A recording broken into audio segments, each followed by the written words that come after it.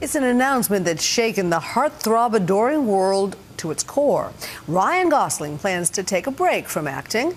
In the nine years since his breakout role in The Notebook, this square jawed Canadian has won legions of fans with his boyish good looks, a brooding demeanor, and Oscar nominated talent. But as ABC's Nick Watt discovered, there's something far more mysterious about Gosling's appeal.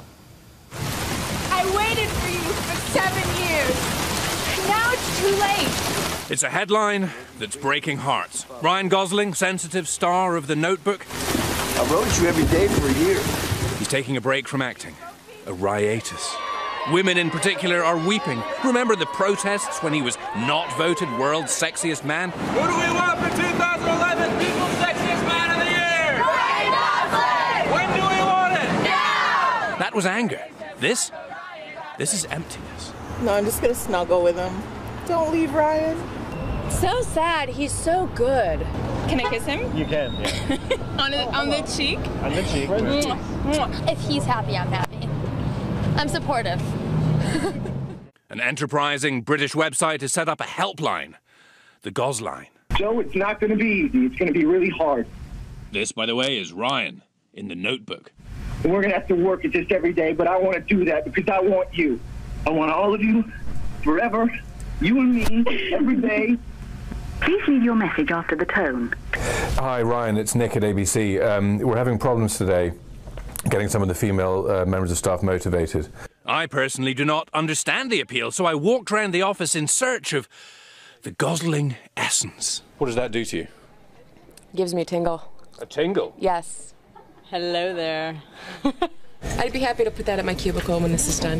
It's very hot. He's fit, he's tan, he's blonde and blue eyes. What is it about him? I mean, he's not very manly. He doesn't have much body Oh, hair. Manly is out. This is much better. He's like physically, he's this, the best looking, best body. Manly is out. Yes, Manly is out. There is a wildly popular internet meme on which women basically transplant their dreams onto the facade of Gosling, specifically his perfect abs, like this one. Hey girl, I had a dream last night. We went antiquing and got your mom a really nice gift. It was pretty intense. And he has a sense of humour. I write them, actually. It's my site. Gosling got in on the joke in an MTV interview a couple of years ago. Hey, girl, happy Thanksgiving. I'm thankful for your yams and sweet potato pie.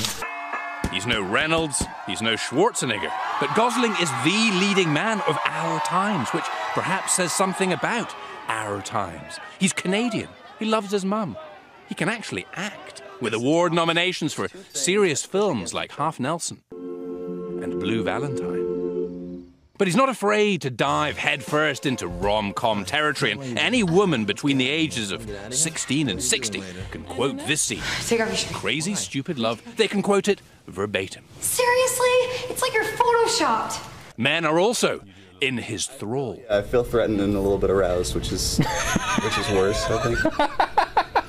And in real life, he's broken up fights. When people say that they don't like Ryan Gosling, the first question, can you see? Do you have eyes? Like, are you kidding me? Like, look at this. Look. He's the everyman.